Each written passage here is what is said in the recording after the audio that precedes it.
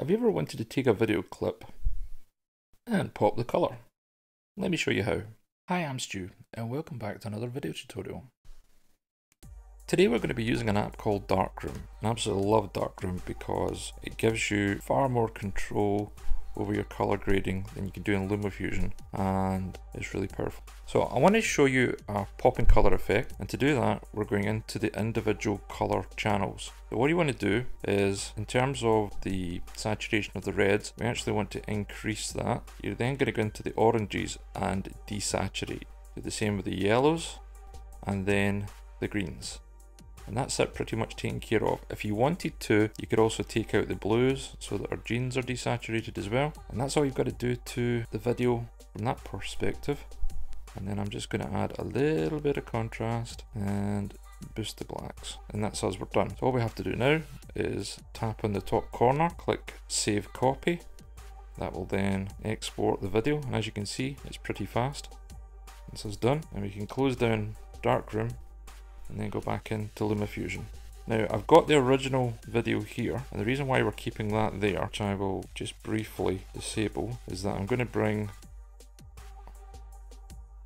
the popped version below and then what I'm going to do is just improve the lip and eye area. See how there's just a little bit of colour on that if I punch in a little bit because she's got red lipstick on and there's a little bit of the scarf showing up as well and around the eyes we kind of want to just calm that down a bit. So the way to do that is to go back to your original file and then turn it black and white. So we will go into our color and effects, just tap on the first black and white option next to Polaroid, go back to frame and fit and you're then going to want to go to cropping and then take the bottom up the way.